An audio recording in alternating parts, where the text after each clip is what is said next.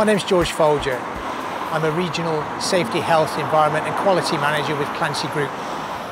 As part of our works, we often come across underground services that are either unmarked or undetectable.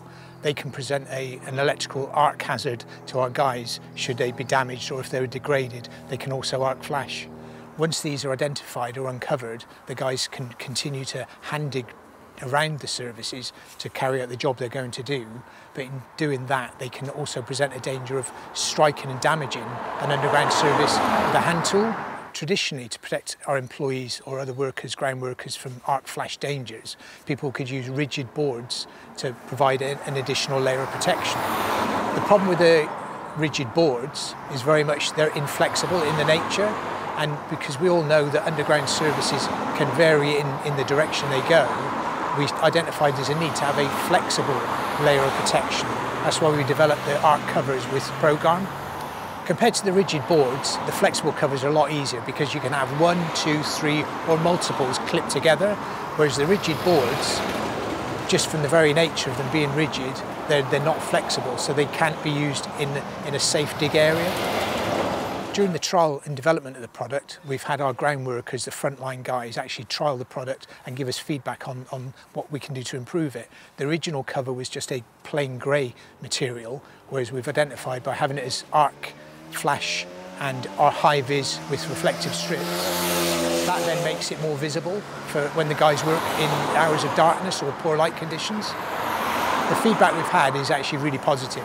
The guys understand the need for it, that it's given them that extra layer of protection, as well as actually protecting the service from damage whilst they're hand digging. As part of the product development and now be going into production, what we're encouraging our teams to have are a minimum of two covers per two-man team. That way, the majority of the small works they cover, the two, two arc blankets, arc covers, will protect them certainly once the introduction has gone to full steam ahead with everyone having these covers and being available, we see that we'll see a reduction in service damage incidents, but also more importantly to us is about an extra layer of protection from our guys being injured should an arc flash occur.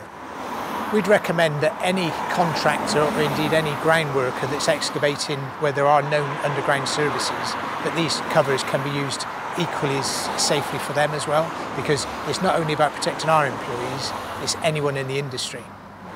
Certainly since we've approached ProGarm about developing the covers, we've identified that it's been really easy to work with them and they've been very open to our feedback from the different product development stages.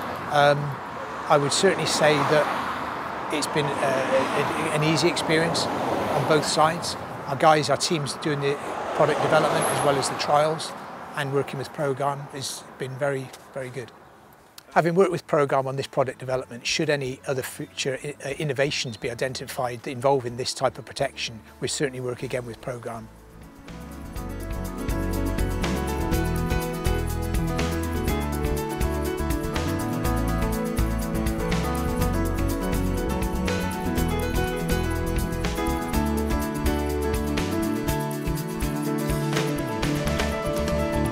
Bye.